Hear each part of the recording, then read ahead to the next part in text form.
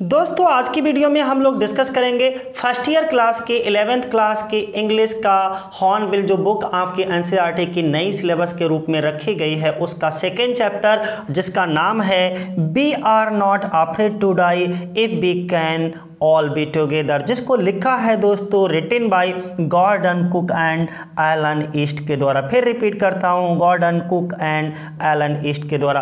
तो प्लीज़ साथियों, एक बार हमारे साथ चैप्टर का नाम बोल दीजिए। We are not afraid to die we are not afraid to die second chapter का नाम क्या है, जो कि हमारे सिलेबस में रखा गया है? Okay we are not afraid to die if we can all be together और ये compose sorry written by okay, Gordon Cook and Alan East. दोस्तों, अगर हम बात करें आपसे, इस चैप्टर की बात करें तो इस चैप्टर में हम आपको बताएँगे तीन साल के वॉयज के बारे में, तीन साल की जो है समुद्री यात्रा के बारे में डिस्कस करेंगे, जिसमें मेन कैरेक्टर्स जो रहते हैं, इसका जो नरेटर दिखाया जाता है दोस्तों, वो फ्राम प्ले माउथ इंग्लैंड का होता है। थर्टी सेवन ईयर ओल्ड एक बिजनेसमैन दिखाया जाता है दोस्तों, वो नरेटर होता है। उसकी वाइफ होती हैं, जिनका नाम होता है मैरी। और एक एक इनका बेटा इस स्टोरी में दिखाया जाता है सिक्स ईयर ओल्ड जोनाथन, जिसका नाम होता है, और एक पुत्री दिखाई जाती है सेवन ईयर ओल्ड सुजैनी। कौन होता है? सुजैनी। और इनकी एक जिस बोट से, इनकी एक असाधारण बोट होती है, जो कि बहुत मज़बूत होती है, हर तरीके के तूफानों के साथ। ओके वो तूफानों में भी जो है, बेहतर तरीके से उनका साथ नहीं छोड़ती। उस बोट, उस नाव का, जो कि उनका हमसफ़र होती है दोस्तों, उसका नाम होता है बेबाकर, ओके, जो कि 23 मीटर लॉन्ग होती है और 30 टन की होती है। क्या कहा? 23 मीटर लंबी होती है और उसका वज़न जो होता है वो 30 टन होता है दोस्तों। सेल डाउन और ये यात्रा करते हैं किशोर, okay sail down the west cot coast of Africa the cape town के लिए। तो हम इसके बारे में बहुत डिस्कस बहुत ब्रीफ सा हमने तुम्हें ओके अबाउट दी लेसन बताया है। अब हम बात करेंगे आप लोगों से चैप्टर की। चैप्टर में मैं पहले भी बता चुका हूँ, आप लोगों के साथ डिस्कस कर चुका हूँ इंग्लिश। आप लोग अपने आप देखोगे, इंग्लिश को मैं नहीं पढ़ूँगा। मैं सिर्फ़ हिंदी स्टोरी आपके साथ डिस्कस करूँगा साथियों। तो अगर हम हिंदी स्टोरी की बात करें तो दोस्तों, समय होता है हमारा जुलाई का। किस समय होता है? जुलाई का समय होता है, यानी कि नाइनटीन का समय चल रहा होता है दोस्तों, मैं और मेरी पत्नी यानी कि मैं, मेरी पत्नी, जिनका नाम क्या होता है? मैरी। याद रखना, मैं पूछूँगा कि नरेटर की पत्नी का नाम क्या है? जो इस कहानी को बता रहा है, कहानी को कह रहा है नरेटर ओके, उसकी पत्नी का नाम क्या दिखाया जाता है? Mary M A R Y यानी कि वह और उसकी पत्नी मैरी। और छः वर्ष का एक बेटा दिखाया जाता है, जिसका नाम क्या होता है? जोनाथन बेटा। क्या नाम होता है? जोनाथन। और सात वर्ष की एक बेटी होती है, जिसका नाम होता है सुजैन। ओके तो कौन कौन? सबसे पहले कौन? नरेटर। इसके बाद उसकी पत्नी मैरी और उसका बेटा जोनाथन छः वर्ष का होता है और सात वर्ष की उसकी बेटी होती है, जिसका नाम क्या होता है? सुजैन होता है। तो एक बार अच्छा बता भी दो कि ये यात्रा कब शुरू होती है? उन्नीस सौ छह जुलाई उन्नीस सौ छिहत्तर में शुरू होती है। और जब ये जुलाई 1976 में दोस्तों शुरू होती है तो कौन? लेखक, यानी कि नरेटर, उसकी पत्नी मैरी और उसका छः साल का बेटा जोनाथन और सात साल की बेटी सुजैन के साथ जो है ये यात्रा पर निकलते हैं। मैं 200 वर्ष पूर्व कैप्टन जेम्स। कितने वर्ष पूर्व दोस्तों? 200 वर्ष पूर्व कैप्टन जेम्स कुक द्वारा चलाई गई संसार का चक्कर लगाने वाली समुद्री यात्रा को दोहराने के लिए इंग्लैंड के प्लाई माउथ यानी कि जो प्लाई माउथ होता है प्ले माउथ होता है, इससे चले। तो इसका मतलब ये हुआ, दोस्तों, लेखक ने अपनी यात्रा कहाँ से शुरू की? प्ले माउथ से शुरू की। कहाँ से शुरू की? प्ले माउथ से शुरू की। और इससे सैंतीस वर्ष पूर्व जेम्स कैप्टन जेम्स कुक थे, उनके द्वारा जो है वो पहले भी यात्रा, जो है समुद्री यात्रा की जा चुकी थी, उसी यात्रा को दोहराने के लिए जो है लेखक भी, नरेटर भी जो है अपनी बच्चों के साथ और पत्नी के साथ निकल पड़ा है। फिर देखो, और ये यात्रा शुरू होती है प्ले माउस से। मैं सैंतीस वर्ष का व्यापारी, यानी कि ये जो लेखक कहानी बता रहा है, उसकी उम्र कितनी है? सैंतीस वर्ष। और व्यवसाय क्या है? वो एक बिजनेसमैन है, एक व्यापारी है। उसकी पत्नी मैरी कई वर्षों से उस प्रसिद्ध खोजकर्ता का अनुसरण करने का सपना देख रहे थे कि मैं भी जो है जेम्स कुक की तरह पूरी समुद्री यात्रा को करूँ, एक बार पूरी समुद्री यात्रा को घूमूं, ओके, पूरा विश्व घूमूं। तो ये भी ऐसा ही कुछ सपना देख रहे थे सभी लोग, पूरा परिवार। अब हुआ क्या? सैंत कि पिछले 16 वर्षों में, पिछले 16 वर्षों में हमने अधिकतम खाली समय ब्रिटेन के समुद्र में अपने समुद्रगामी कौशल को तेज बनाने में लगाया था। यानी कि ये पिछले लास्ट 16 ईयर्स से 16 सालों से अपना ज़्यादातर समय जो है, वो समुद्री यात्राओं में ही व्यतीत करते हैं। इसके बाद हमारी नाव, और उस नाव का क्या नाम होता है? एक बार और फिर बता दीजिए साथियों। ओके बेब बाकर क्या नाम होता है? बेब बाकर और वो नाव की लंबाई कितनी होती है? तेईस मीटर लंबी होती है। अच्छा वो कितनी भारी होती है? उसका वज़न कितना होता है? तीस टन उसका वज़न दिखाया जाता है। यानी कि तीस टन भारी लकड़ी का पेटा और पेटा वाली जो है बहुत सुंदर अट्रैक्टिव और बहुत ज़्यादा जो है मन को लुभाने वाली उसकी नाव होती है। ओके जिससे ओके, यहाँ पर हम जैसे व्यवसायियों ने बनाया था, यानी कि जो जितने उसके साथ बिजनेसमैन थे, उन्होंने उस नाव को बनाया था। तथा हमने उसमें साथ सामान लगाने और तूफ़ानी मौसम में परखने के में कई महीने बिताए थे। यानी कि उस नाव को तैयार करने में काफ़ी समय लग गया उसको सजाने में और इस बात को जस्टिफाई करने में, इस बात को यानी कि यह ख़राब मौसम में क्या हमारी नाव हमारा साथ देगी या नहीं, इस बात का विश्वास करने के लिए उन्होंने कई उस नाव पर प्रैक्टिकल भी किए। अब देखो दोस्तों, नाव के बारे में पता लग गया। नाव की लंबाई कितनी, नाव का नाम क्या था? ओके बेब का नाम था, तेईस मीटर लंबी थी, तीस टन जो है लकड़ी की बनी हुई भारी नाव थी। अब क्या हुआ? अपनी तीन वर्ष की, यानी कि तीन वर्ष की, यानी कि the first leg of the plan three years okay तीन सालों में उतने कितने किलोमीटर की यात्रा जो है वो खुशी खुशी कर ली थी पूरी? एक लाख पा क्या लिखा है? यानी कि यहाँ पर देखिएगा, एक लाख पाँच हज़ार किलोमीटर लंबी कितनी यात्रा पूरी की? एक लाख पाँच हज़ार किलोमीटर लंबी आयोजित यात्रा का प्रथम चरण, जो कि अफ्रीका के पश्चिमी घाट के साथ केप टाउन तक हँसी खुशी के साथ व्यतीत हो गई। यानी कि इन्होंने प्रथम चरण में, ओके, फ़र्स्ट फ़ेज़ में कितना फ़र्स्ट प्लान में जो first leg of the our plan था तीन सालों में तो फ़र्स्ट फ़ेज़ में उन्होंने कितनी एक लाख पाँच हज़ार किलोमीटर की जनरी जो है बहुत खुशी खुशी पूरी कर ली, जो कि अफ्रीका के पश्चिमी तट के साथ केप टाउन तक की दूरी थी। वहाँ पूर्व की ओर बढ़ने से पहले और जब ये वहाँ से पूर्व की ओर बढ़ने से पहले हमने विश्व के सबसे तूफानी समुद्र दक्षिणी हिंद महासागर का सामना करने के लिए दो नाविक लिए। और इन दोनों नाविक का नाम आपको याद रखना है। दो नाविक लिए। अमेरिकी, एक अमेरिकी नाविक थे जिनका नाम था लैरी बिजिल। क्या नाम था? फिर रिपीट कर देता हूँ।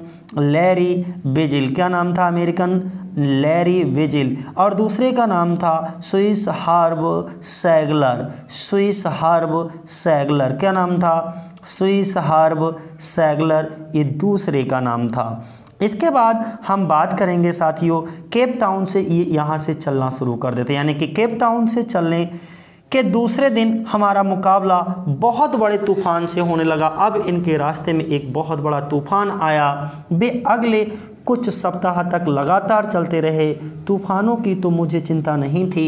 जो तूफ़ान आ रहा था, क्योंकि उन्हें पूरा भरोसा था कि हमारी जो नाव है बेवॉकर वो तूफ़ानों में अच्छे तरीके, वो तूफ़ानों में हमारा साथ नहीं छोड़ गया। यानी कि बहुत अच्छे तरीके से जो है तैरती रहेगी। लेकिन उनको चिंता थी तो लहरों से, क्योंकि लहरें जो हैं वो पंद्रह मीटर ऊंचाई तक उठ करके आती थी लहरें। तो उन्हें उन लहर, लेकिन लहरों का आकार बहुत भयानक था, बड़ा डरावना था, भयावह था, जो कि पंद्रह मीटर हमारे मुख्य मस्तूल जितना ऊँचा था, जिससे नाव को खेते हैं जो आगे लगा होता है, उससे भी पंद्रह मीटर ऊँचा, यानी कि उस मस्तूल के बराबर लगभग उस समुद्र की लहरें जो हैं, वो नज़र आ रही थी। तो अब समझ आया होगा। इसके बाद हम बात करेंगे दोस्तों कि 25 दिसंबर को। देखिए, ये डेट बहुत अच्छे से आपको याद रखना है। 25 दिसंबर को हम केप टाउन से पैंतीस सौ किलोमीटर पूर्व में थे। मान लीजिए कहीं केप टाउन शहर है। केप टाउन शहर से लगभग हम पैंतीस सौ, तीन हज़ार पाँच सौ किलोमीटर किसकी ओर? पूर्व की ओर, ईस्ट की ईस्ट में था। मौसम बहुत ख़राब होने के बावजूद भी हमने छुट्टी शानदार तरीके से मनाई। यानी कि हमको बिल्कुल भी किसी तरीके की कोई परवाह या किसी तरीके की कोई चिंता साथियों नहीं थी। अब हुआ क्या आगे?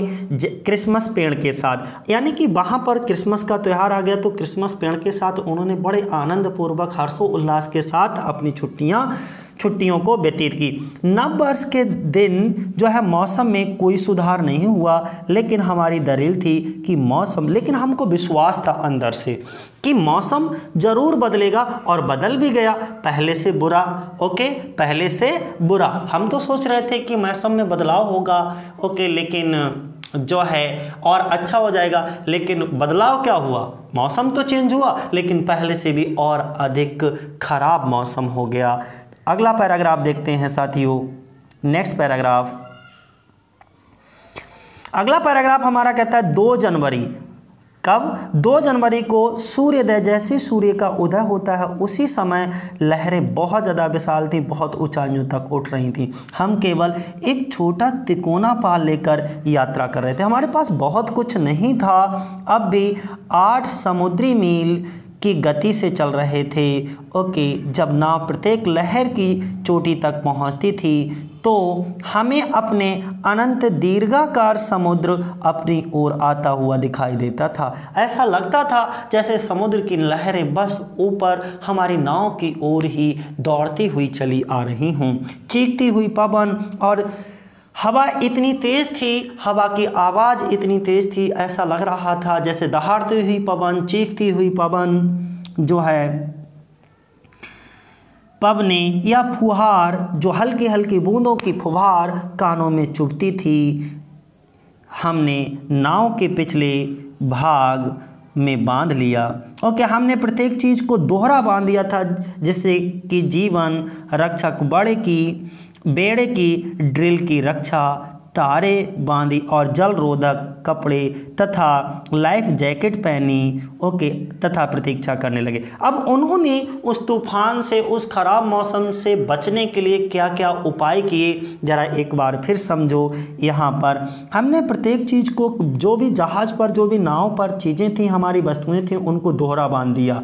ओके, अपने जीवन रक्षक के बेड़े कि ड्रिल की रक्षा से जो थी, वो क्या थी? कुछ वहाँ पे तार वगैरह रखी थी, उन तार को बेहतरीन तरीके से बाँध दिया। ओके, और जो जल रोधक कपड़े थे, ओके, और लाइफ जैकेट पहनी, जल रोधक और लाइफ जो जैकेट होती है, उसको पहन लिया और प्रतीक्षा करने लगे कि खतरा कब आ जाए, हमें कुछ पता नहीं था। इसलिए ये सभी पहले से ही तैयार थे। तो एक बार चैप्टर का नाम हमारे साथ और बता दीजिए चैप्टर का नाम क्या है? We are not afraid to die if we can all be together हमको डरने मरने से नहीं डरना चाहिए अगर हम सब साथ हों।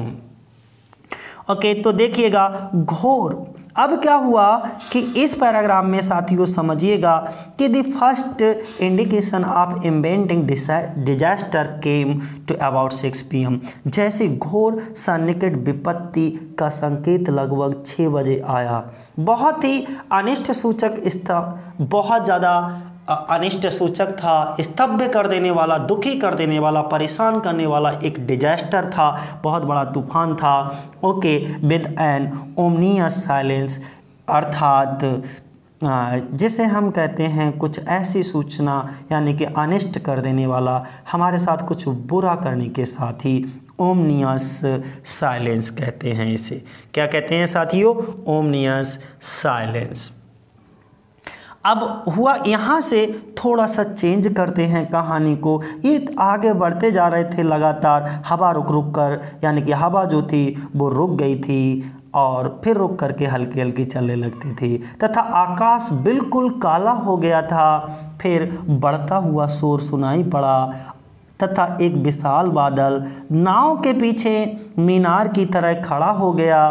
इसके बाद मैं ये जानकर डर गया कि ये बादल नहीं था, बल्कि लहरें थीं। जैस, ऐसी, जैसी मैंने पहले कभी भी ऐसी लहरें नहीं देखी। वह पूरी तरह लंबवत थीं तथा दूसरी लहरों की अपेक्षा दुगनी बड़ी थीं। उसकी भयावह चोटी टकराने को तैयार थी, यानी कि वो बहुत ही भयंकर तूफ़ान था और तूफ़ान की हवाएँ भी बह रही थीं। काली घटा छा गई थी और लहरें जो हैं वो कभी ऊपर उठ रही थीं तो कभी नीचे गिर रही थीं।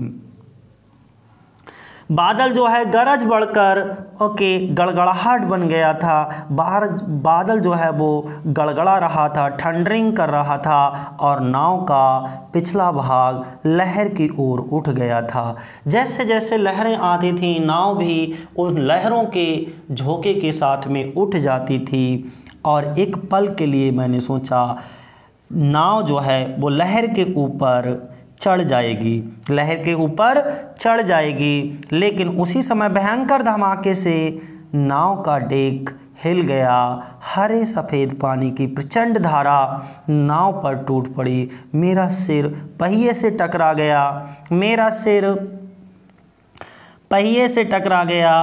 तथा मुझे एहसास था कि मैं नाव पर से उड़कर धारा में डूब रहा था। यानी कि अब ये नाव में से अलग होकर के उन्हें ऐसा हो लगा कि वह समुद्र की धारा में डूबने लग रहा था। मैंने अपनी आती हुई मृत्यु को स्वीकार कर लिया था। जब मैं बेहोश हो रहा था तो मैं पूरे तरीके से शांत था। मुझे ऐसा लगा कि अब मैं डूब ही जाऊँगा, मर जाऊँगा। धीरे धीरे हम अनकॉन्शियस हो रहे थे, बेहोश हो रहे थे। आगे नाइन पैराग्राफ मेरा सिर अचानक पानी से बाहर निकला। ओके, और जो हमारी नाव थी, नाव का क्या नाम था? बेब बाकर कुछ मीटर पर लगभग उलट सी गई थी। जो उसकी नाव थी, उसका नाम था बेब बाकर कुछ मीटर उलट सी गई थी, उसके मस्तूल छैतीस हो गए थे। ओके, फिर एक लहर ने उसे धकेल कर सीधा कर दिया। एक के बाद एक लहर और आई और उस लहर के झोंके के साथ हमारी जो नाव तिरछी हो गई थी, वो फिर से सीधी हो गई। मेरी जीवन रक्षा तार झटके से कस गई थी। मैंने गार्ड, किसको? गार्ड रेल्स को पकड़ लिया तथा हवा में से तैरकर बेब बाकर की मुख्य लंबी कड़ी में गया। उसके बाद लहरों ने डेक पर कपड़े की गुड़िया की तरह इधर उधर पटका, मेरी बाही पसलियाँ चटक गईं, मेरा मुँह खून तथा टूटे दांतों से भर गया। यानी कि बड़ा भयंकर तूफ़ान था। जब इसने नाव के जो तार बाँध रखे थे, उन तारों को पकड़ा। फिर भी नाव जो है, स्थिर नहीं थी। वो नाव की जो समुद्र में लहरें थीं, वो नाव को इधर उधर हिला रही थी। इससे लेखक को भी काफ़ी क्षति पहुँची, काफ़ी हानि पहुँची। ऐसा लग रहा था जैसे गुड़िया की तरह जो है, वह नाव की जमी पर इधर उधर पटक रहा हो। ओके, उसकी पसली भी, बाई पसलियाँ भी टूट गई थी, मुँह से खून निकल आया और उसके मुँह के सभी दांत भी टूट गए। जैसे जैसे मेरे, ओके, जैसे तैसे मैंने पहिया ढूंढा, नाव का स्टर्न अगली लहर के लिए सीधा किया, पहिए को पकड़े रखा। ओके? तो ये देखो कितना भयंकर तूफ़ान था और उसे अपनी यात्रा को, समुद्री यात्रा पहले आप लोग जानते हो, पहले बहुत ज़्यादा समुद्री यात्राएँ की जाती थी। हमारा व्यापार भी सभी समुद्री यात्राओं पर ही आधारित होता था और समुद्री यात्रा खतरों से खाली नहीं होती थी। तो यहाँ पर भी हर जगह पानी ही पानी था। मुझे लग रहा था कि नाव में नीचे पानी था, लेकिन मैं संतुलन चक्र छोड़कर जाने का साहस नहीं कर सकता था। उसे ऐसा लगा, नाव में पानी भर गया हो और नाव के नीचे पानी भर गया हो। लेकिन फिर भी लेखक जो समुद्री यात्रा करने के लिए जा रहा था, वह बिल्कुल भी छोड़ने को तैयार नहीं था। इसके बाद, ओके, फल का अचानक खुल गया। तथा मैरी प्रकट हुई। हम डूब रहे थे वह चिल्लाई। डैग टूट फूट गए हैं। मेरी नाव पानी से भरी हुई थी। अब लेखक की जो नाव थी, वो पूरी तरीके से पानी से समाई हुई थी। लैरी तथा हार्ब लैरी तथा हार्ब पागलों की तरह पंप से जो दो उनके नाविक थे, अमेरिकन नाविक थे, ये लैरी तथा हार्ब, पिछले हमने नाम बताया था इन दोनों का। पागलों की तरह पंप से पानी बाहर निकाल रहे थे। टूटे हुए सहतीर टेढ़े मेढ़े लटके हुए थे तथा नाव दाई ओर से, दाई तरफ़ से अंदर की ओर उभरी हुई थी। कपड़े, क्राकरी, नक्शे, डिब्बे तथा खिलौने गहरे पानी में उछल रहे थे, यानी कि सब पानी में तैर रहे थे। और ये, इसके बाद ट्वेल्थ नंबर का देखो, इसमें इंग्लिश अपने आप पढ़िए, हिंदी मैं एक्सप्लेन कर रहा हूँ, जिससे कि आपको चैप्टर को समझने में थोड़ी मदद मिल जाए। और साथियों, मैंने पहले भी बताया है कि वीडियो को ज़्यादा से ज़्यादा शेयर करो और सब्सक्राइब करो, जिससे कि मैं कुछ भी नया डालूँ, नई वीडियो बना करके डालूँ, उसका नोटिफिकेशन आप तक पहुँच जाए। आगे देखो कुछ तैर कर, कुछ रेंग कर, मैं बच्चों के कैबिन में पहुँचा, तुम ठीक हो? यानी कि कुछ तैर कर, कुछ रेंग कर, ओके। इसके बाद वह बच्चों के कैबिन में पहुँच गया और उनसे उनका हालचाल पूछा कि तुम ठीक हो? मैंने पूछा हाँ। उन्होंने ऊपर की बर्थ से उत्तर दिया ओके, लेकिन मेरा सिर दुखता है। आँखों के ऊपर एक बड़े गुमट की ओर संकेत करते हुए, ओके, शिव ने कहा, मेरे पास टक्कर खाए सिरों के विषय में चिंता करने का समय नहीं था। इसके बाद नेक्स्ट, हथौड़ा, पेंच तथा कैनवास लेकर मैं बहुत कठिनाई से डैक पर वापस आया। नाव दाई ओर से टूटकर खुलने के कारण नाई, जो नाव थी उसकी वो दाई ओर से टूटकर खुलने के कारण प्रत्येक लहर के टकराने से पानी अंदर आ रहा था। यदि मैंने मरम्मत ना की तो हम निश्चय ही डूब जाएँगे। इसके बाद क्या हुआ साथियों? मैंने किसी ना किसी तरह खुले सुराखों पर कैनवास खींचकर जड़ दी। और दरवाजे को जल रोधक कवर से पक्का कर दिया। थोड़ा पानी फिर भी नीचे से बहकर आता रहा, लेकिन अधिकतर पानी साइड पर से मुड़कर बहने लगा।